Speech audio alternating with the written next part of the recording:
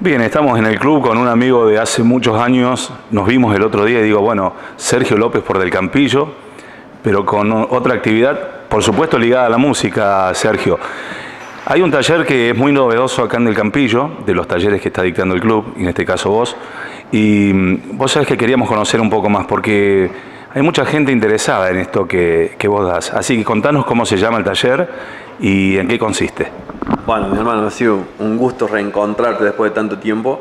Y el taller que, que comenzamos a dictar acá en el pueblo se llama Cantoterapia Integradora y, y consiste en un método contemporáneo, ¿eh?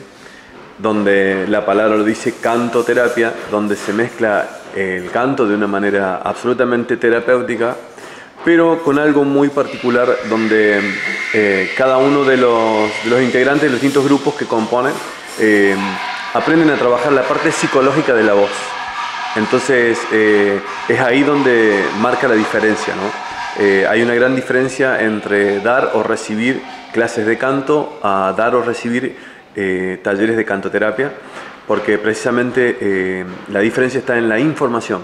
Entonces, bueno, ¿y por qué acá en el campillo? Porque esas cosas que tienen la sincronicidad de la vida, tengo una alumna allá en Río Cuarto que, bueno, que tiene parientes acá y me dijo que, que, viniera a dictar un taller y hace unos días, unas semanas, vine a dictar un taller intensivo que fue, que fue muy exitoso y, bueno, y ahí surgió la propuesta, así que bueno, creo que vale la pena, así que acá estamos. Bueno, eh, me decía que eras diferente a las clases de canto convencionales y, ¿qué es lo que se busca con, con la práctica de, de esto? Diferente porque se aprenden las técnicas básicas de canto, claro que sí. Pero ¿qué, qué se busca? Que, que, la persona, en primer lugar, que no necesariamente tiene que saber cantar para incorporar esta técnica, porque de hecho los talleres que dicto, en algunos casos dicto para gente que no cantó en su vida, y en otros casos eh, trabajo con artistas profesionales y, e incluso algunos reconocidos que también abordan esta técnica. Entonces, eh, ¿a dónde apunta? A que la persona conozca eh, por qué canta, que conozca y pueda trabajar el mundo de sus emociones utilizando el canto y el cuerpo como herramienta principal y, que aprenda a incorporar eh, pensamientos claros, eh, decisiones claras, pero, pero de una manera muy sana. Entonces es ahí donde la información hace la diferencia, donde cada uno de los alumnos se va reconociendo a través de, su propia voz donde toda la información eh, está plasmada eh, en la psicología transpersonal, eh, con Carl Gustav Jung como, como cabeza, un, hermoso ser que nos regaló la vida, a quien respeto un montonazo y admiro muchísimo. Entonces, pero bueno, volviendo al tema de, del canto, precisamente es ahí, donde la persona puede aprender a transformar mientras se divierte, por ejemplo. Bueno, ¿y cuáles son los resultados? ¿Cómo se logran? ¿Qué tiempo? Y, viste que siempre dice que el arte sana. ¿Esto se puede decir que también tiene algo de eso? Claro que sí. Eh, y sana de mejor manera o de una manera eh, más rápida o elevada porque es a conciencia. Eh, el canto o cualquier rama del arte, que para quien lo practique, obviamente que hace mucho bien, pero cantar a conciencia es diferente porque estás utilizando tu voz como tu propia herramienta y precisamente para eso, para elevar tu tesitura, para vibrar en otra armonía y, y, precisamente para eso, para incorporar lo que en la voz del ser, dentro de cantoterapia integradora, se llama el autocuidado consciente, que no es otra cosa que aprender a observarse a uno mismo y, aprender a creer más eh, en uno mismo que en cualquier otra cosa. Después podemos creer en lo que quieras, pero todos venimos con una, con una información eh, que fue delegada, sembrada, pero muy poco elegida. Entonces, eh, es ahí donde está el tema, ¿no? Mientras vos y yo estamos haciendo una nota acá, yo estoy esperando a los alumnos para dar clase o dictar el taller, están haciendo un niño y ese niño nace creyendo en nada, entonces, eh, si ese niño en vez de leche le das un, no sé, un cóctel de lo que quiera y le haces creer que eso es saludable, el niño va a crecer con eso. Y medianamente esa es la información que a nosotros nos compone y a nuestra voz le pasa exactamente lo mismo. Es por eso que las personas muchas veces hablan en una tesitura muy tranquila, así, y nunca salen de su rango, ¿eh?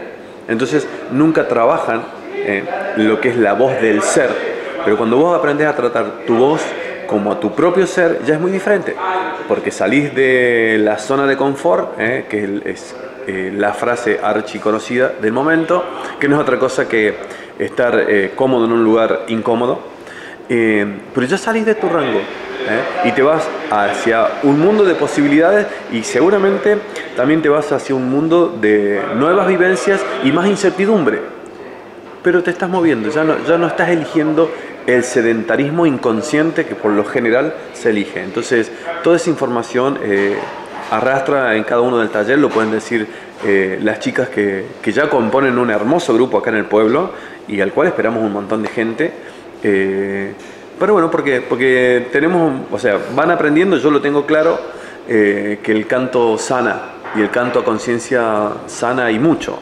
Cuando vos le decís a la gente por ahí canto terapia, ya cuando le, le mencionás la palabra terapia, decir, uy, no, mira, terapia, ya lo empieza a relacionar con otras cosas, pero esto es totalmente distinto. ¿no? Eh, este, cantoterapia nace en España y yo acá en el país tengo la suerte de, gestionarlo acá y, comenzar a darlo a conocer, entonces eh, estar acá con esta intención para mí es muy, es muy sano y es muy bonito.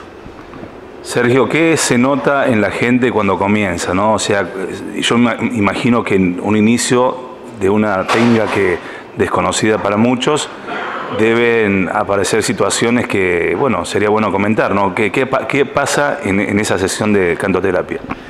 Sucede lo siguiente, eh, lo primero que con lo cual se enfrentan los alumnos es con el prejuicio, con los temores eh, y con esa parte eh, de uno que, que, no le gusta mucho reconocerla, ¿entendés?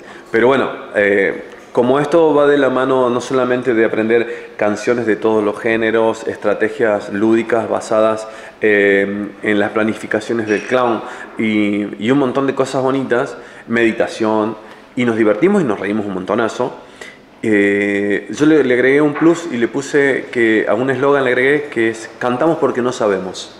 Entonces, em, las personas que llegan a esto, primero que llegan llenos de curiosidad, a ver de qué se trata. Y, segundo, que van mezclando los miedos con la risa y después se dan cuenta en poquísimos tiempos o sesiones, em, se dan cuenta que, que, vale la pena, que se sientan mejor y que llegan a sus casas o transcurren eh, sus días cotidianamente y van modificando y transformando lo que necesitan. ¿Eh? Pero primero para eso hay que animarse a, reconocerse, ¿no? Entonces, ¿por qué? Porque para transformar o trascender en eso, el primer paso saludable eh, es la aceptación de quién soy en este momento, aquí ahora. Aceptar que, que todo lo sucedido fue para algo, nos dejó una enseñanza, fueron desafíos, algunos desagradables, sí, ¿por qué no? ¿Eh? Pero ¿Qué es lo que te hace el canto a conciencia? Vas a cantar preocupándote de tu pasado, preocupándote de tu futuro, de qué vas a hacer, o vas a cantar consciente, eh, viviendo a lo que llama el canto y su conciencia el momento absolutamente presente, o te vas a trasladar a cualquiera de los polos que ambos son destructivos, porque uno te va a llevar a la depresión y la otra te va a llevar hacia la ansiedad. Entonces, eh, mis alumnos practican eso, ¿no? estar netamente eh, conscientes y tratando de estar equilibrados, o sea, sin perder la capacidad de disfrute, pero trabajando sobre sí. Sergio, hay una, frase que yo le he escuchado muchas veces que dice, quien canta ora dos veces. ¿Hay algo de espiritualidad también en, el canto? Carl Gustav Jung dice que hasta los perros son espirituales. Entonces, eh, la espiritualidad, bienvenido sea, creo que hace mucho bien, eh, pero más bien hace la toma de conciencia. La toma de conciencia es reconocer, es, eh, aceptar, es saber que, mm, en su conjunto somos eh, dueños de nuestra decisión, de nuestra creencia. Vos estás eligiendo creer en algo, yo te voy a decir, si te hace bien, genial, ¿entendés? Y si crees muy distinto a mí, te, si te hace bien, genial, ¿entendés? Pero no hay una línea de creencia que te lleve eh, a, convertirte realmente en tu potencial en lo mayor, no. No porque si no yo estaría sectorizando como tantas creencias que existen.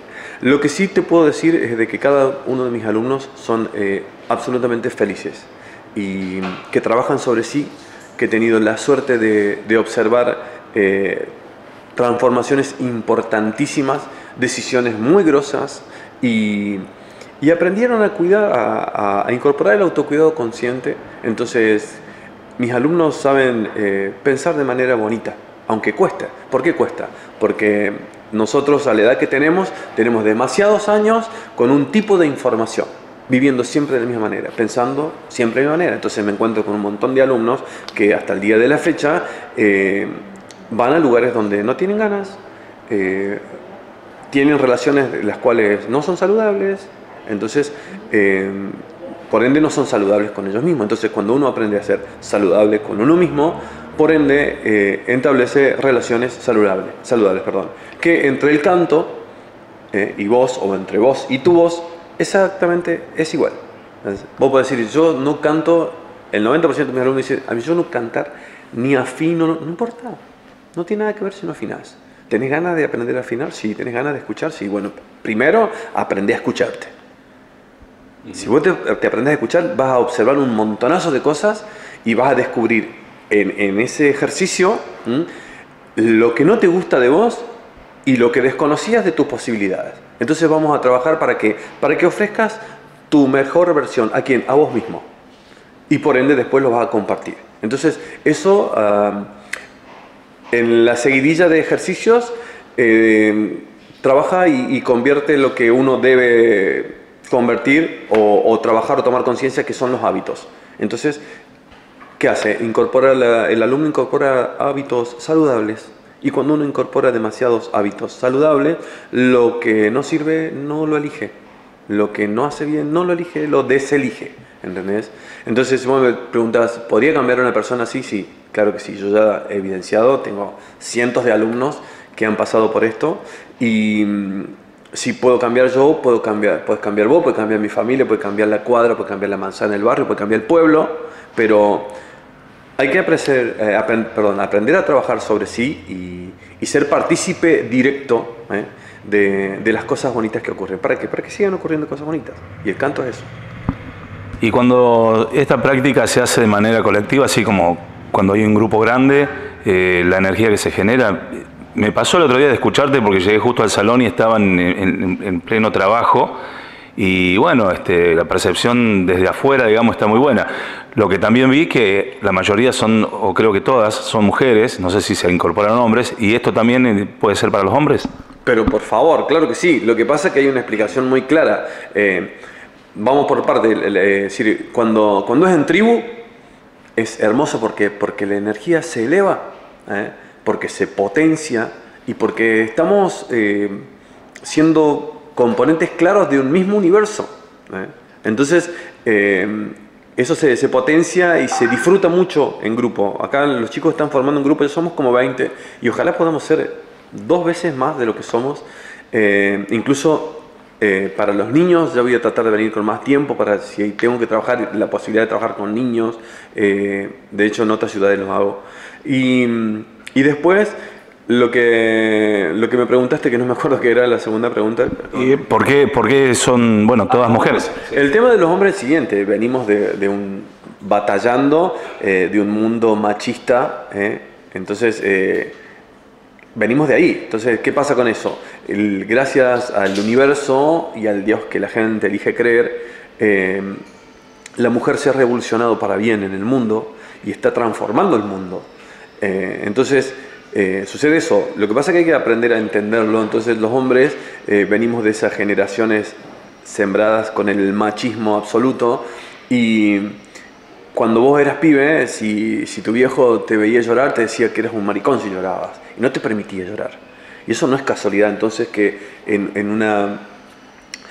un encuentro como estos, eh, o en cualquier otro, vas a yoga, si haces yoga, hay Tres hombres, 40 mujeres. Si haces, no sé, pilate, tres hombres, 40 mujeres. Y porque el hombre todavía sigue siendo macho en algunos se aspectos. Resiste a, se, resiste, se resiste a los cambios es mucho más silencioso y la mujer nos triplica en inteligencia ¿eh? de, buscar, de salir, de, moverse, ¿eh? de, de, desertar del sedentarismo. En vez del hombre no, es muchísimo más sedentario. Entonces, eh, hay una información detrás de eso también, que tiene que ver con, las relaciones. Entonces, el hombre tiene que aprender a eso, a, aprender que, que hay posibilidades y ya no hay por qué ser duro. Yo si me muero esta noche no, me quiero morir cantando, con una sonrisa, con un pensamiento bonito, pero no con esas caras arrastradas de amargura por las cosas que me han sucedido. No, no, no. Y la mujer en eso es muchísimo más práctica. Sergio, y en cuanto al repertorio, eh, ¿hay canciones especiales para esto? ¿Cómo, ¿Cómo se manejan con eso? No, en cuanto al repertorio, eh, la armamos de todo, cantamos de todo. O sea, no llevamos una línea eh, de si cantamos cualquier tipo de género, o sea, folclore, tango, cumbia, rock. Cantamos de todo un poco y vamos de a poquito trabajando eh, las técnicas vocales básicas y, aprendiendo a hacer un par de voces diferentes como para amalgamar así algún acorde.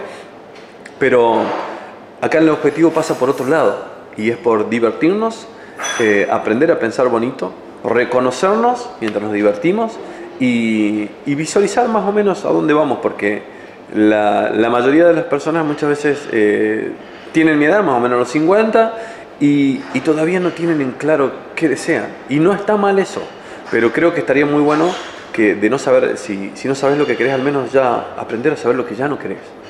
¿eh? y entonces lo que ya no querés y te habita, eh, con ejercicios simples y de manera eh, divertida, la parte psicológica de la voz eh, te enseña a deselegir y elegir de manera más saludable, por cierto. Bueno, eh, venís los, los, viernes, todos los viernes al Campillo, ¿cuánto dura la, clase? Vengo los viernes acá, acá la gente nos, nos, sirve un cafecito rico, tipo 20 horas, 20, 30 largamos acá en el salón del club y, y estamos mínimo una hora y media todos los viernes trabajando, entonces eh, por supuesto que hago extensivo eh, un poquito para agradecer públicamente el, gesto de, Nadia y, de su marido. Eh, ¿Cómo se llama el marido de Nadia? Marcos. De Marcos y Nadia, que fueron ellos los promotores y de apostar a esto. ¿no? Entonces eh, hay que ponerle toda la garra y, bueno, vamos a generar un hermoso grupo. De hecho se está formando, así que espero toda la gente en los días viernes a las 20-30 horas acá en el club.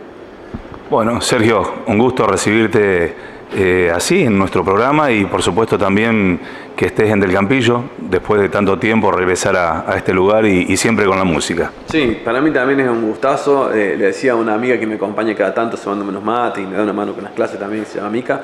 Eh, de, volver a Del Campillo para mí también es un gustazo.